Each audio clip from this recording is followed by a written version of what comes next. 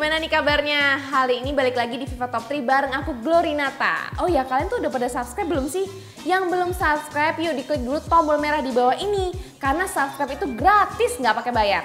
Dan jangan lupa nyalain tombol loncengnya supaya selalu dapat notifikasi dari kita.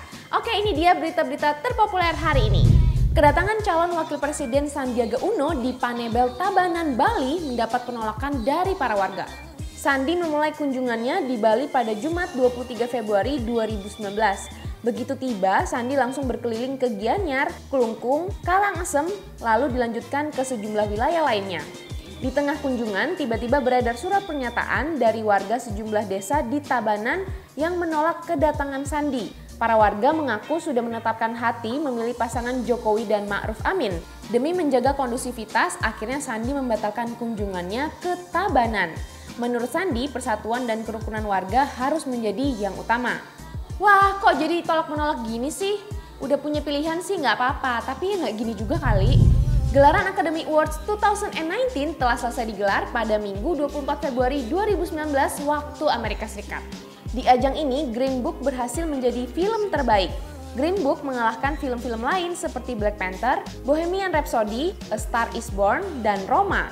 Bohemian Rhapsody sendiri memimpin dengan raihan 4 piala Oscar, termasuk kategori Best Actor untuk sang pemeran utama yaitu Rami Malek.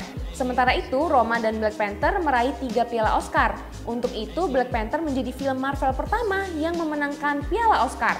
Untuk kategori Best Actress dimenangkan oleh Olivia Colman yang bermain di film The Favorite. Wah, Green Book jadi film terbaik nih.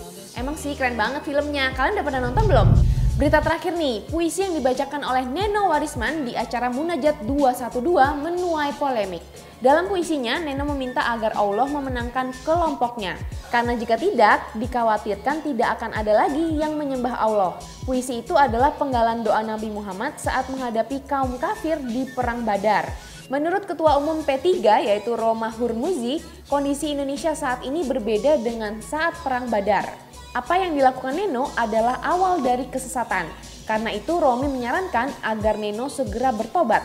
Komentar senada juga muncul dari staf khusus presiden yaitu Ali Mutar Ngabalin. Ngabalin bahkan menyebut apa yang dilakukan Neno adalah penistaan yang sebenarnya. Sementara itu, menurut utusan khusus Presiden RI untuk Timur Tengah dan Oki, yaitu Alwi Sihab, cara kampanye dengan membakar emosi seperti ini adalah bentuk kampanye negatif. Waduh, Bunda Neno ini Emang gak ada puisi lain ya? Kok seakan-akan kubu sebelah gak ada yang nyembah Tuhan sih? Nah Vivanians, Viva Top 3 hari ini bikin semangat kalian gak?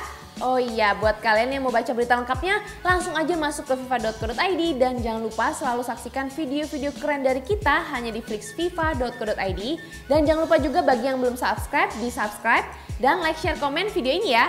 viva.co.id number one statement. Dadah, sampai jumpa besok.